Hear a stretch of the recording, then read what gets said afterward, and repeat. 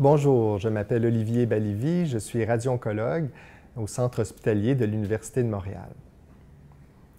Quand je parle de mon travail en radio-oncologie, euh, on me dit des fois que ça doit être euh, euh, difficile, voire triste de travailler tous les jours avec des patients qui ont le cancer.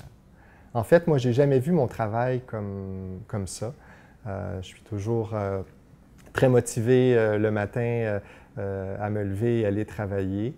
Je trouve que c'est un travail où on a la chance de côtoyer des, euh, patients qui sont euh, courageux, qui sont euh, motivés, qui, ont l'espoir de guérison. Et évidemment, pour nous, c'est une source de motivation importante.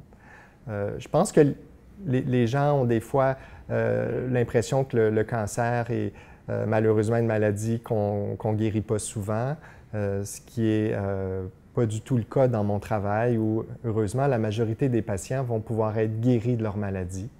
Euh, et même les patients qu'on ne parvient pas à guérir, euh, on sait que souvent on va avoir fait une différence dans leur vie, on va les avoir aidés dans leur combat contre le cancer.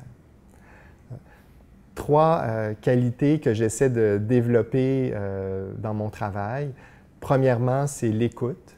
Je pense que c'est extrêmement important d'être attentif aux besoins des patients, à ce qu'ils ont à nous dire.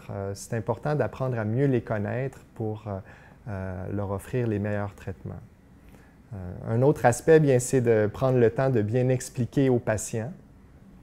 Évidemment, euh, la plupart des patients rencontre, c'est leur première euh, expérience en radio-oncologie.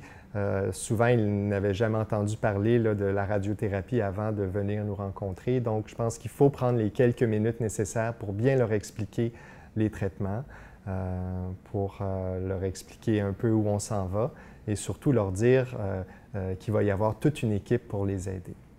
Mon, ma, troisième qualité, si on peut dire, que je cherche à développer, c'est d'être toujours le meilleur joueur d'équipe possible parce que la radio-oncologie, évidemment, c'est une grosse équipe. C'est pas seulement le médecin radio-oncologue. Il y a des, technologues, des physiciens, des infirmières, euh, des infirmières pivots.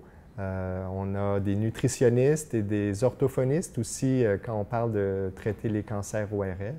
Et je pense qu'il faut arriver à, aller chercher le meilleur de chacun des intervenants pour offrir les meilleurs soins aux patients.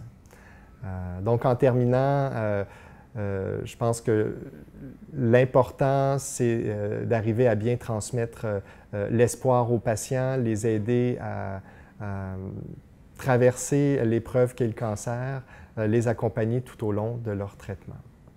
Merci.